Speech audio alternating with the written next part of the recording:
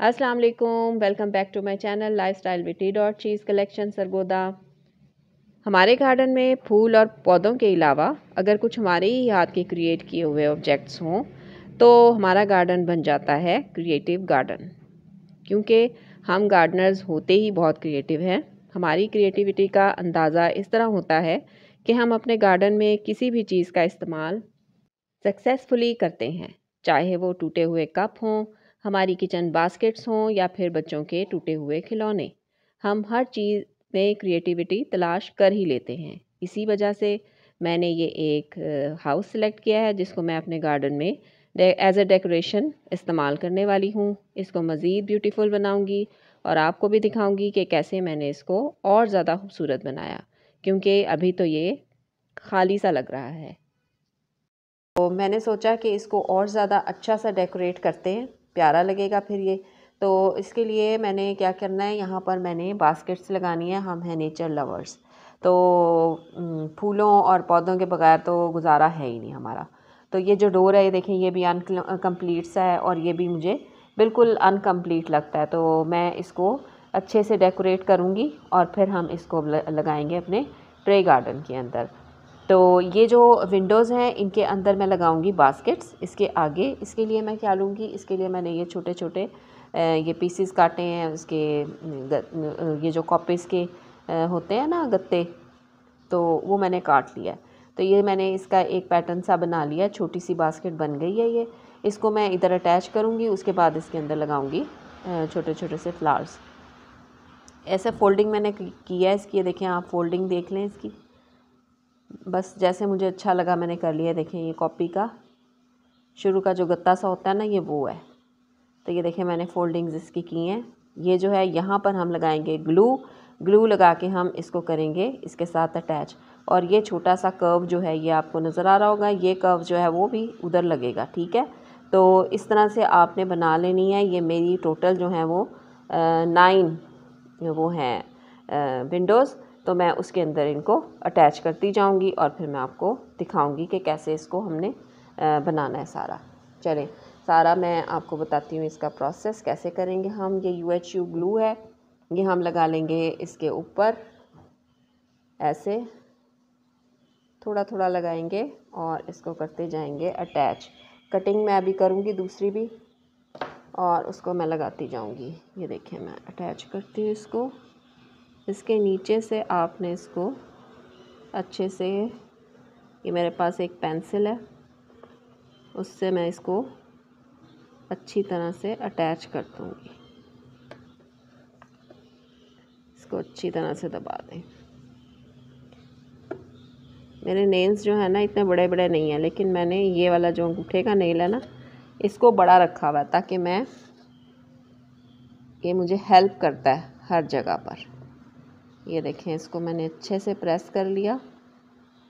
बस, ये हमारी बेस है।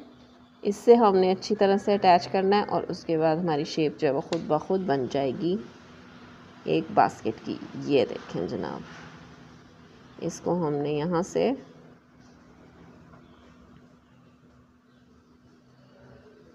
अब इसको हम करेंगे। इसकी शेप ऐसे बनाएँगे। थोड़ा थोड़ा सा बारीकी का काम है। ये हमने इसको यहाँ पर अटैच करना है। तो ये हमारी क्या बन जाएगी? एक छोटी सी बास्केट ये देखें आपको, अभी से इसकी शेप नज़र आने लगी है ना? इधर हम लगाएँगे थोड़ा सा ग्लू दोनों साइड्स पे और हम इसको इसके साथ अटैच कर देंगे। थोड़ी देर आपको पकड़ना पड़ेगा। इसके पीछे भी मैं कुछ रखती हूँ ताकि हिले ना पीछे से। ये हाउस जो है वो हिल रहा है बहुत ज़्यादा। ये देखें ये देखें, ये बन गई ना, एक उसकी बास्केट बन गई। छोटा सा इसके अंदर हम जो है वो रखेंगे स्पेस और एक बास्केट का लुक आ जाएगा। यहाँ हम जब कलर करेंगे और फ्लावर्स लगाएँगे तो ये बिल्कुल हमें लगेगा कि छोटी छोटी सी बास्केट्स हैं। और जो हमारा हाउस है, वो बड़ा ब्यूटीफुल लगेगा। चले मैं ये सारा करती हूँ और फिर मैं आपको बताती हूँ, ठीक है?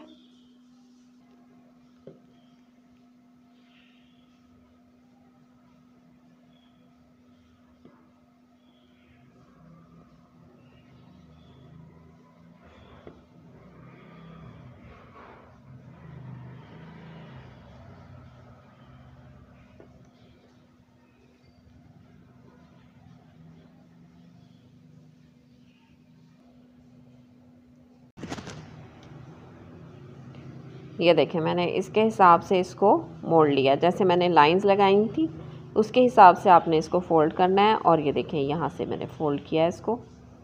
ठीक है? ये आपको अब समझ आ गया होगा।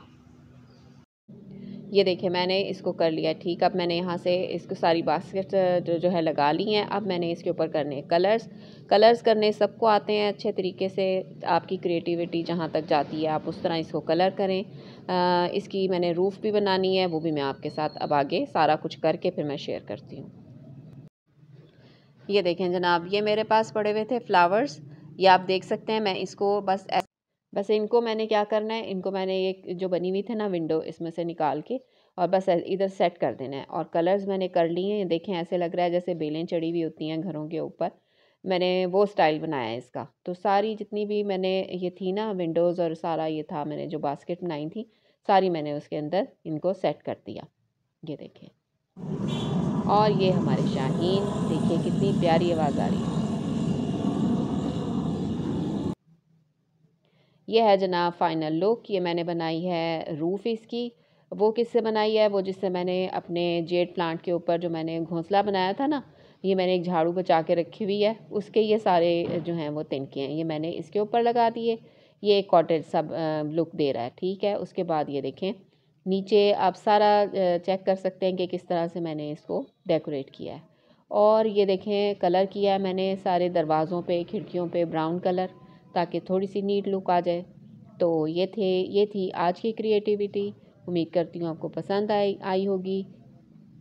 अगर पसंद आई है तो लाइक और शेयर ज़रूर कीजिए और मुझे कीजिए सब्सक्राइब ओके जी, अल्लाह हाफिज़।